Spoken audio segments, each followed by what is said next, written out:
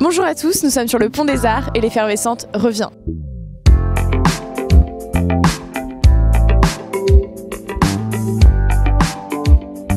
Ce mois-ci, la sélection est atypique, elle mêle dessin, peinture, installation robotique et portraits filmés.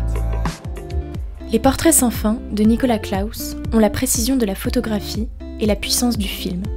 Le spectateur est invité à découvrir l'identité d'inconnus et à déshabiller celle de célébrités. Il travaille ainsi sur l'anonymat en dressant un véritable portrait psychologique des photographiés.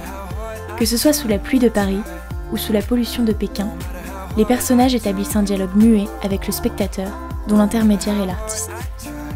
Hiatus est le titre de l'exposition de Pierre Schwersmann à la galerie Suzanne Tarassiel. C'est précisément à partir de l'analyse du hiatus, qui désigne deux voyelles se succédant dans des syllabes différentes, que germe le projet de l'artiste suisse. Malgré leur individualité, les voyelles se confondent selon la prononciation du locuteur. De même, dans les œuvres exposées, la frontière de couleur s'efface au profit du dégradé. La halle Saint-Pierre, au pied de la butte Montmartre, expose le travail de Gilbert Père. Le monde du cirque et de la fête foraine habite les machines qu'il crée à partir de débris auxquels il redonne vie.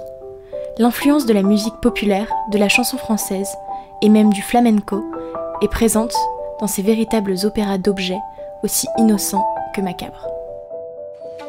C'est un véritable monde onirique qui se déploie à la galerie Arts Factory.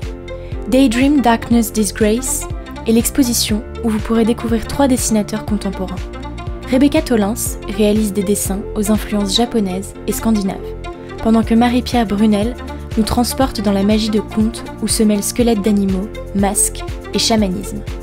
Enfin, les dessins du japonais Wataru Kasahara nous plongent dans une psychédélique lascive et viscérale.